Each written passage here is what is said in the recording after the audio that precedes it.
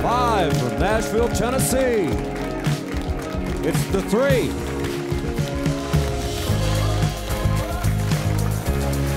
With the Studio C band.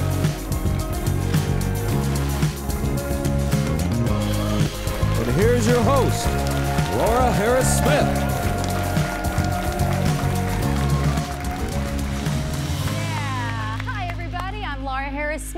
And welcome to the three. Yeah.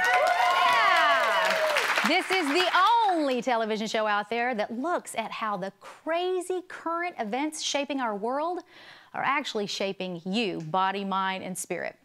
Do you know what I'm noticing in the world today?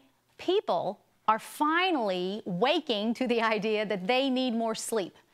They're understanding the link between good health and good sleep hygiene, as some call it.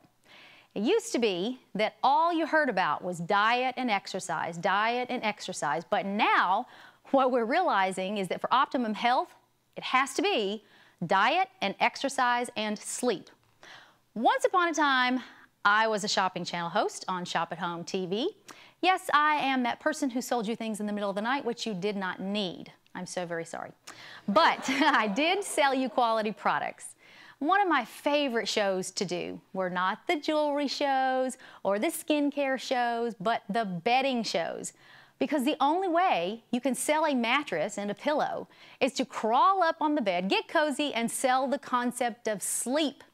Mark was there. Mark, one of our cameramen here today, he was there back at Shop at Home, and he remembers with me the, the big jib camera arm that would come in overhead on me and look, I'd look up into it and I would say, you spend a third of your life in bed. Don't you owe it to yourself to make your bedroom a sanctuary and get the best night's sleep possible?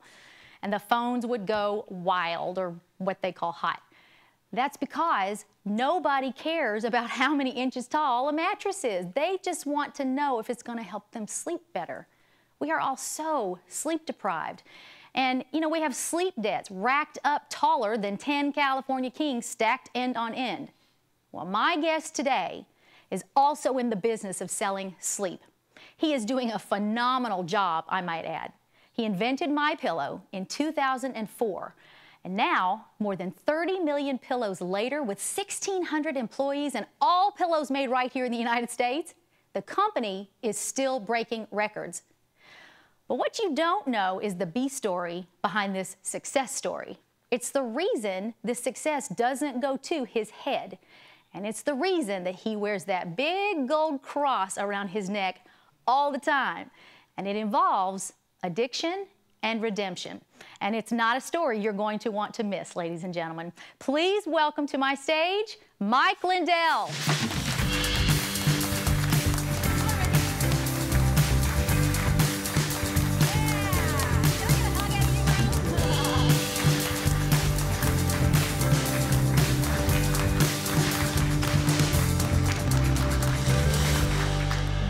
To the three. I am very excited to tell everyone that just before coming on here, we made a decision. Mike and I made an executive decision together. This is part one of a part two interview. We're going to keep him around for a while because when when I just spoke to you, really, literally Yeah, over lunch, right, right. you told me about so many things. No way we could cram it into one show. Uh, right. So thank you for thank you for staying. Yeah. Now, I want to start at the very beginning. First of all, congratulations on the success of your empire. Thank you, thank you. But I want to start back where, honestly, it says in the commercials it started, which was in 2004. Mm-hmm. You invented My Pillow. What was going on in your life? Well, the, um, I was uh, actually had a dream. I, well, first of all, if we go problem solution, I, I'll do a little, little what you were talking about when you were introducing me. I had pillow companies and bedding companies would sell us all kinds of things that didn't work. My pillows would go flat. I'd use my arm, fold them, and have neck aches and headaches and all these things. And I thought, am I the only one out there that has these problems? And I would be on, uh, but I tried all these pillows all my life. And then one night I actually had a dream, and and the dream was actually the logo, my pillow before the pillow. You're And kidding. I got up and I wrote my pillow all over the house and. And my daughter came upstairs. It's actually in one of the commercials. my daughter know, came upstairs. She's like nine or ten years old. She says, she looks in there. It like everywhere wrote my pillow, all the different way you could connect the, the Y and the P. And she says, "What are you doing?" And, and I go, I'm going to invent this pill. It's going to be called My Pill. And there were no My's back then, so Right. it kind of sounded weird. And she she grabbed a glass of water. She goes, Dad, that's really random. and she went back downstairs. And then a few days later, all the kids, and then I was getting another dream of what the pillow, you know, maybe what it could do. I didn't know this part. And and um, and these dreams were right from God. I look back and go, well, the kids would say to their mother, they go, you know, what is with this pillow thing? Because it go on for days, then weeks, and they go, oh, it's just a phase. It'll pass. Right, the pillow phase. And then it was right across the street a few, a few months later, or a few years later. Really? Yeah, yeah. so you went from how many employees in the beginning? It was just you and your kids. Yeah, well, what we, we, we did if, is uh, we, it took about a year and a half. My one son and I, every day, he would get home from school and we would try different things to go in a pillow, tear Okay. different things, foams and beads and everything. And I'd say, come on, Darren. And, he, and I, I think he's told me, uh, well, it was fun the first few days, but after that, and we finally had the, we had the pillow. It was one day. It was after 94 different things, like uh, you know, that I tried in there, and, and we, I said, well, let's do this, and we did it, and it worked. But then we didn't have a machine to make the the inside. And during that time, I'm telling my friends and family, I'm going to get a patent on a pillow, and and uh, you know, and they're and they're laughing at me. Everyone was laughing. Oh yeah, everybody laughed, and then the other half said, if you come up with a pillow that does that, you let me know I want one. and uh, and then I um, I actually when it finally made the first prototype, and I made these pillows, and now we were dead broke, no money, and but we had these like 300 pillows made. And I walked into a box store. I won't name the store, but uh, I've told their talked to their CMO since, and they, uh, I said, "How many pillows are you know? I have the best pillow ever made. How many would you like?" And I'm all excited, and the, uh, the guy literally looked at me, and goes, "I want to see your buyer," and he goes, "You need to leave." You know, it was like because I'm all Well. passionate. He took it as this guy's a nutcase, and uh, so we couldn't sell them anywhere and we mortgaged our house. I know that year the, to get it. Someone said, Mike, why don't you do a kiosk? I said, how do you spell that? What is it? You know. and uh, so I did this kiosk, but the one day I happened to be there and selling, and this guy came up and he said, "Do you have a business card?" And I go, "Oh yeah, I'm all out." And I wrote it on a piece of paper, of a phone number, and gave it to him. And and I actually, you got to realize back then, this kiosk I had colored from from another store, colored crayons that made family owned and operated. Oh, and, that's uh, funny. And uh, another sign. Well, it was. I yeah, mean, yeah, yeah. exactly. I mean, I made my own signs. It was just so it looked like some, you know, very cheesy. You know. And, Hey, it uh, worked. Whatever you did, it worked. And then it got to be February, January, and we, I, for the first time, I'm kind of, you know, I was scared. I'm going, how am I going to support family? I have no money. We had mortgaged our house for just to, even to buy Christmas presents. Wow. And, and uh, the guy called that I gave that number to. Okay. And he said, this pillow created a miracle in my in life. He said, it changed my life. Are you the guy that invented it? And I said, yeah. And he goes, and that was the only guy I gave my number out to. so if you look back now, it was a very much a divine appointment. And he says, I run the Minneapolis Home and Garden Show. Would you like a spot in there?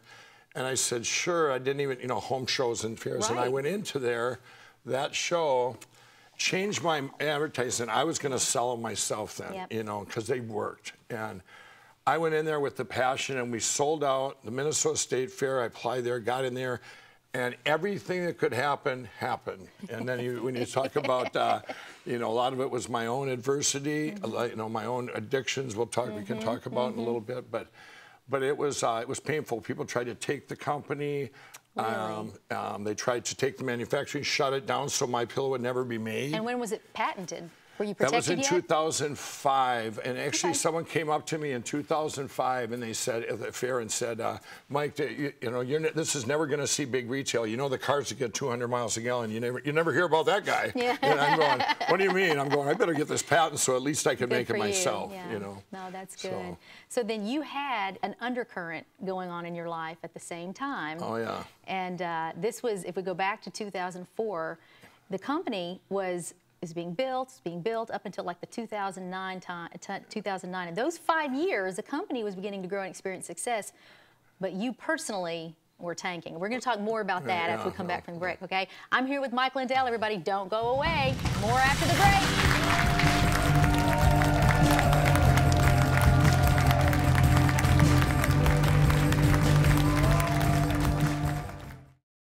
Hi, everybody. Thanks for watching The Three. But you know, it dawned on me that I really need to officially introduce myself to many of you, even though I've been in television for 50 years. My parents put me in my first commercial at age three, and that path carried me all the way to the Shop at Home TV network where I was a host. I'm a wife of 34 years to Chris, a mom to six adult children, and a grandmother to eight so far. I'm an author of, goodness, over 20 books and ebooks, and whatever I write, you can count on the fact that it will help you physically, emotionally, and spiritually because my passion is body, mind, and spirit health. I'm a certified nutritionist with a degree in original medicine. And my husband and I pastor a phenomenal church in Nashville called Eastgate Creative Christian Fellowship, where we help people get healthy body, mind, and spirit. So, if you're ever in the Nashville area, I hope you'll stop in and say hi. You know, God had a son, but what he wanted was a family. So he sent Jesus to come and get us. Likewise, I had a TV career, but what I really want is a TV family. As you can tell by now, I have always had one foot in media and one foot in ministry, and it's all collided now on the three. So please become a part of the Three's family. Visit the link on your screen to give a tax deductible gift and help me purchase airtime that takes this fun, relevant, faith based show to a faithless world. Some TV ministries would then call you a donor or a partner, but I'm going to call you family. Go to the link and become a part of my TV family today. I can't do it without you. Thanks. Hey, what do you think of when I ask about your health? Probably just your diet, weight, or a sickness. But health involves so much more than just the body. You also have a spirit and a mind that need nourishing, and the Healthy Living Handbook is going to do just that. Contains a top 10 list of healthy living habits for your spirit, where we'll discuss your prayer life, the Holy Spirit, things you may be substituting for God and not even know it. Then section 2 contains a top 10 list for your mind. I'm going to help you get organized, deal with stress, help you laugh more, and never be discouraged again. There's even a relationship quiz there that helps you make sure the people in your life are the right ones. Then in section three, there's a top 10 list for your body. We'll study the three biggies, meat, wheat, and sweets, and other things like weight loss, water consumption, and there's even my essential oils list that tells you which oils help the top 50 common household ailments. Go to lauraharrissmith.com and get your copy of the Healthy Living Handbook today. What if there was a reset button for your body, mind, and spirit? There is! I wrote the 30 Day Faith Detox so you could cleanse your body, renew your mind, and heal your spirit. There are 30 daily devotionals to confront emotional residues from past trials, what I call faith toxins, prayers to refresh your spirit, and then through yummy strategic foods, each of your 15 body systems are cleansed for a total body detox. People are losing weight and gaining faith. Go to lauraharrissmith.com today to get your copy of the 30 Day Faith Detox.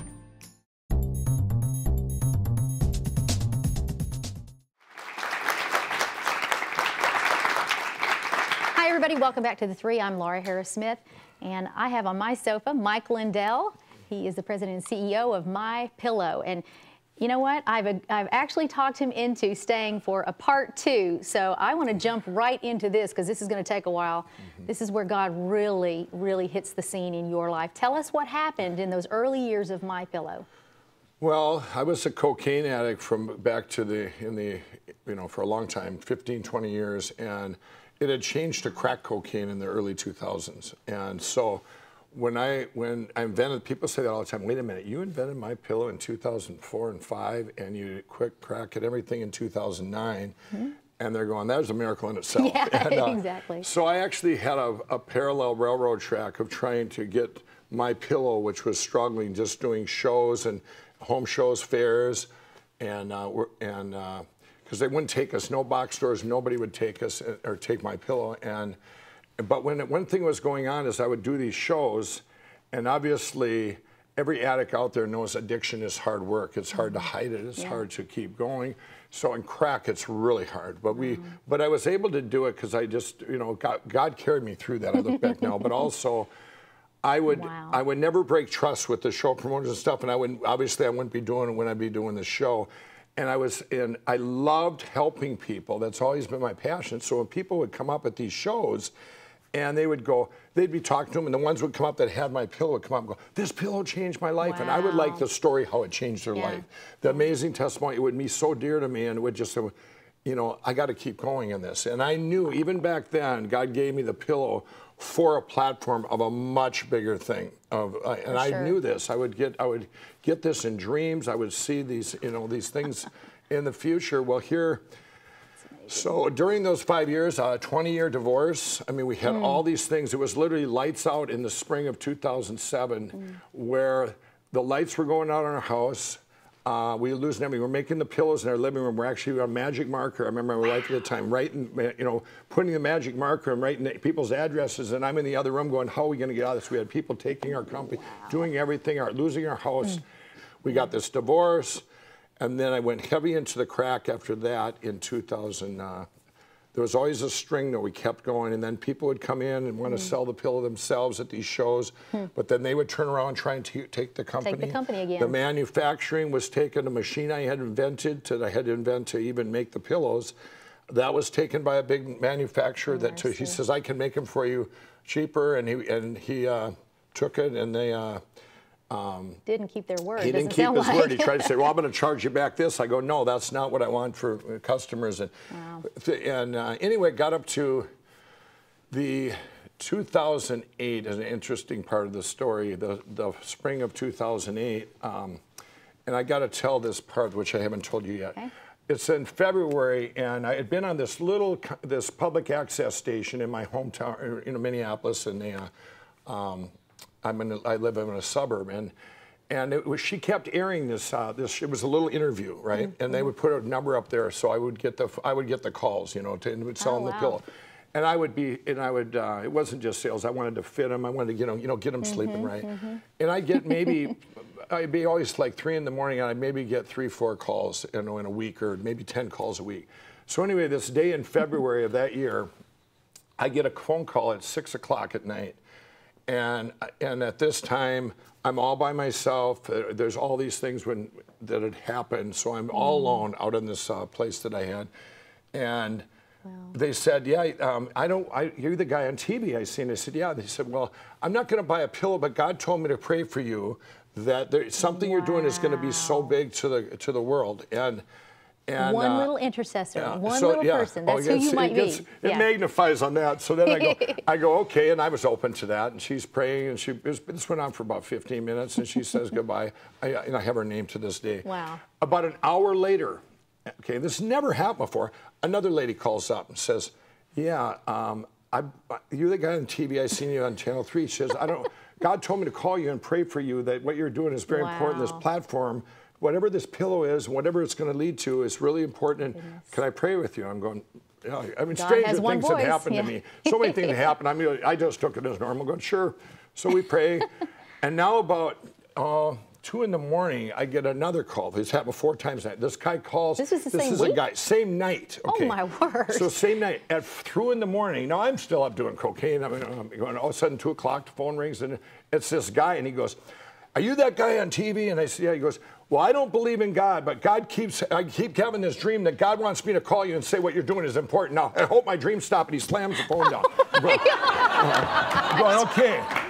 And, so now, wow. so now the next caller is eight in the morning, and I just guessed, said, "You don't want to buy a pillow, you want to pray." She goes, "How, do, how did you know?" you know going, so I sit there and we and we pray, and uh, and now I'm going the same time now you know, I would always stay up until I got I could fix things, and things were okay. so bad in my life. Wow. All of a sudden, I'm up for two weeks, and three of my drug dealers. I'm in the I'm living in or I'm in the mini, middle of Minneapolis, the, the one of the worst parts, and they all show up and they go. You're going to bed and we're shutting you off. Everybody, you're not getting any drugs. Wow. And I said, What? I said, You guys know each other? And I'm going, you know, and they're going, you made us a promise. You told us someday you'll quit and you're going to come back and help us and help this addiction, all this, because I would always tell them that. Yeah. And, and it's, it's true. So I go out in the middle of the night, and I, the one, once the one guy fell asleep, to try and get drugs, nobody on the street would sell me any drugs. And I come back defeated, and he, one of them takes my phone. He goes, he goes, he goes, here, he takes a picture of me when I was up 14 days. He goes, You're going to need this someday for your book. He says, Now you go to sleep. and, and, and, that's the picture you're seeing on your screen. Yeah, There's more yeah. coming back in just a moment with Mike Lindell. Stay close.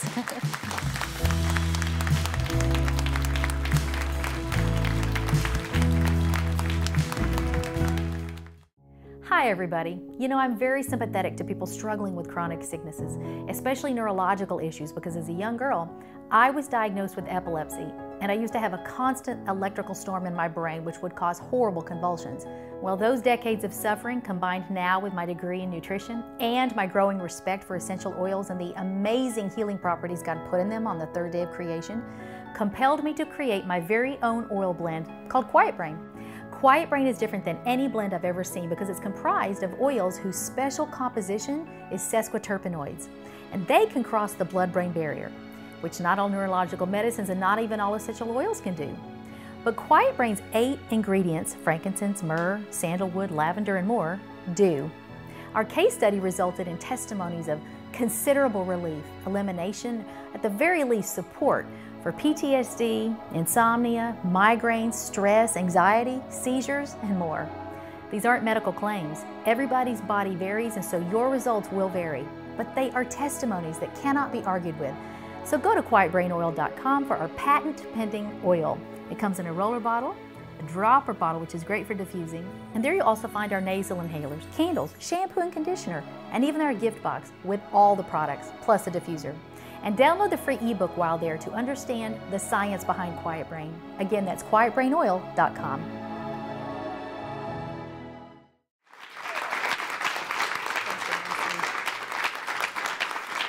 Welcome back to the three, everyone. I'm here in the final segment of this first of two-part interview with Mike Lindell. And you were just telling us, Mike, about this 14-day, really it was a 14-day high. The yeah. picture we, we, just saw, you right. were on crack cocaine. What, what happened after the drug lords intervened? Well, when they intervened, I, like I say, I came back and the one guy says he, he was still waiting up for me.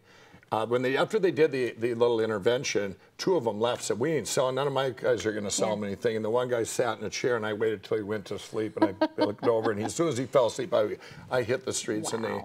But nobody would sell me even $100 for $5 worth. Mm. And they, I'm going, how do they know? How could they get the word out? And I came back, wow. and he was waiting, and that's when he took that picture. He goes, "You're going to need this for your book. You made a promise to us. You're going to come back and help us and wow. and help you know get everybody out of this." I, I, always tell them about this platform, and but when but I didn't quit that. That was in the spring of 2008, and and um, what I did, I actually then knew that God had this amazing platform for me, and the pillow was just a platform for what, the, what is coming into fruition you now. knew that, even yeah. when you were outside of the will of God. Yeah. This proves, like, we are His children. Mm-hmm. We just have to awaken to that idea. Yeah. And so many people I told that to, so it's like I, I don't you know, I kept stuff from, from my book that goes all the way back so you could show that these things were, you know, proof that they happened. And the book is coming out when? Yeah, yeah, it should be out by me. We'll talk about that next episode. Go ahead. But anyway, what I did, I thought, okay, I thought this sounds pretty, you know, I, I, was using that platform against quitting. And here's why I'm going, so this sounds terrible. If I, so you mean to say I have all these responsibilities I'm going to have when I quit, plus all the inner pains I have that the addiction is masking, and I said this, you know, and then I thought, well, you know what? If he's if he's picked me for this platform, I can do whatever I want. I mean, wow. I, I can. I'm going to live through anything. I had 14 near-death experience in my life, oh all my these goodness. different things. So, but during that year, then my sister even called me up. She goes, you know what? Your window's closing. God's because she always told me God's picked me for this, and she mm. said, "You're." She goes, "You can't keep standing in front of semis. He's going to. Someone else going to get picked." Wow. And so now we That's get true. to a December of 08, and an interesting thing happened is a friend of mine, and when we talk about people with addictions, to be able to relate with someone that's like you are, whatever, yeah. you know, and they had, um, you know, my friend that I had did my original first time I'd ever tried cocaine, one of my mm-hmm. best friends, back in the 80s. Well, he was very similar to me. He had switched to crack and all this, but he had been, I hadn't heard from him. He had been clean for three years, and he had found God, found Jesus. and I'd heard rumors of that. Well, then all of a sudden in December of 08, like I said, I could, it would take too long to tell you where I was at that time. I'm, late, I'm in this room and by myself, and uh, he comes he comes in. I go, Dick, where you you know how you been or whatever, and and he tells me, he goes, I he goes, I, I was led here, you know, God led me here. And he says, how are you been? And I go, and well, he, I was able to ask him questions that nobody else could answer for mm. me. I wouldn't have trusted anyone else with this question. One of the things I said, Dick, is it boring? Is it boring to be yeah. a Christian? Is it boring to, be, Is it boring to be off drugs and a Christian, both? And I'm going, and I'm hearing this. He goes, wow. Mike, and then he's telling me, he goes, he's the one that told me, he goes, you know how much work it is with your addiction. Wow. All of our, you know, some of the addicts are the best workers and best entrepreneurs, and best, you know, people in the world, but they just have these wounds. But anyway, we talked for quite a while. But I didn't quit that day, of course. You know, he left. That was yeah, just another, yeah. all these seeds that were planted. Well, then it was January 16, 2009, mm. and I knew instinctively by everything that that window was shutting It that was night. shutting. It was like anybody out there, the old-fashioned TVs. They used to go down to a little tiny blue dot, Okay, and yeah. we'd sit there as a kid and we'd turn them back on. Right. they'd come back to Come back life, up, and and I knew that dot was it was going out, know, and and I said, Lord, I said I prayed, and I said. All right, here's the deal. I said, I'm praying, please, if you free me of these, not the desire for the drugs, Mm-hmm.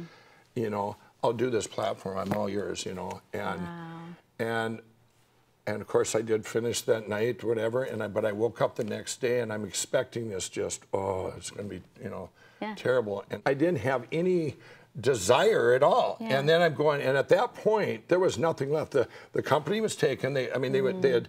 Uh, all my shows were taken. All these things were taken. Even my to, my to get my fabric, where I had credit before, now I had no credit all of a sudden because they were in on it, and Yeah. they and I had to come up. This is a real short story, but I had to come up with thirty thousand dollars. I'm going, okay, God, uh, I needed it by this following Friday, and.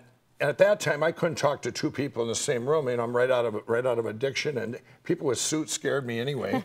and this guy goes, a friend of mine goes, well, you can go meet these guys. They're, uh, um, or actually, this was a acquaintance. He said, well, you can go meet these guys. They're kind of mavericks or whatever. Right. And anyway, anyway, I went and met him. I needed this thirty thousand dollars. I walk in there a week later. I'm a week out of addiction, and I walk in and I said.